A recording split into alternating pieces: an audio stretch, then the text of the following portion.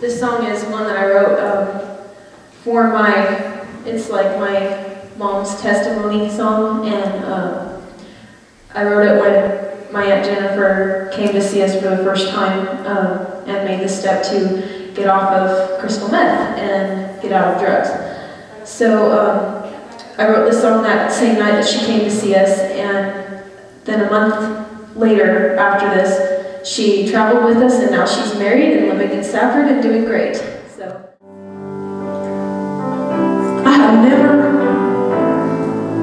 been so changed in a moment from the word of the Lord as I was then. And now when I see sin, I just want to go embrace that sinner. When I see my sister who is shooting up crystal meth, I just wanted to hug her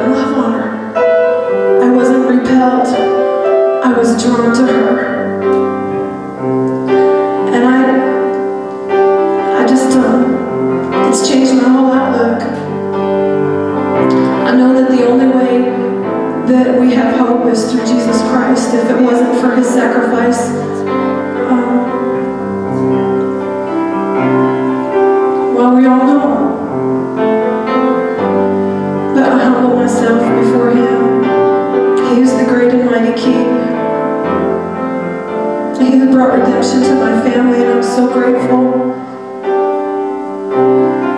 I think that the um, Breanna wrote this song, and it says the only way up is down. And I, at first I questioned it, and I thought the only way up is down, Lord, really?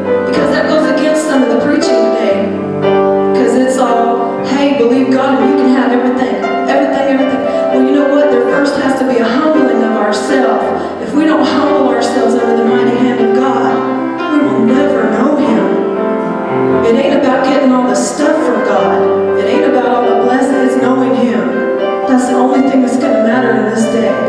So I'm only going to sing this one song. This is what Breanna wrote. It's my favorite.